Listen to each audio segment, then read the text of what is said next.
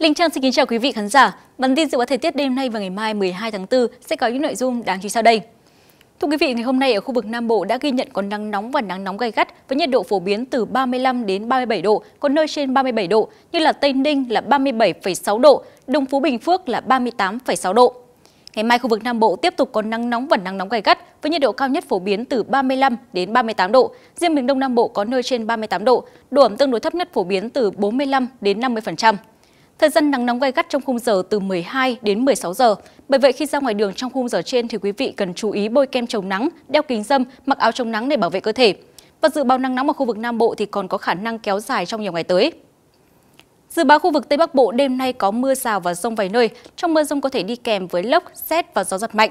Sang ngày mai ngày nắng, có nơi còn nắng nóng, nhiệt độ cao nhất trong khoảng từ 33 đến 34 độ C. Và dự báo từ ngày 13 tháng 4 thì có khả năng có nắng nóng diện rộng. Và dưới đây sẽ là thông tin chi tiết.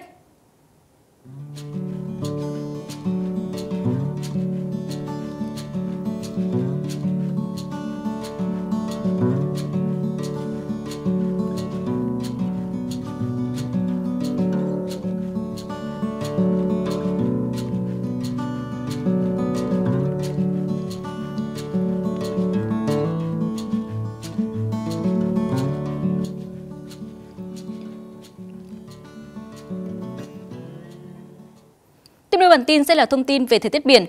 Khu vực quần đảo Hoàng Sa được dự báo không mưa, tầm nhìn xa trên 10 km, gió đông bắc đến đông cấp 4, cấp 5, sóng cao từ 1 đến 2 m. Còn tại khu vực quần đảo Trường Sa dự báo không mưa, tầm nhìn xa trên 10 km, gió đông bắc cấp 5, sóng cao từ 1,5 đến 2,5 m. Về diễn biến thời tiết trên đất liền, ngày mai khu vực thủ đô Hà Nội không mưa, ngày nắng, nhiệt độ tăng trở lại với nhiệt độ cao nhất phổ biến từ 31 đến 32 độ C, thấp nhất dao động trong khoảng từ 24 đến 25 độ và dự báo hình thái thời tiết này còn diễn ra trong nhiều ngày tới.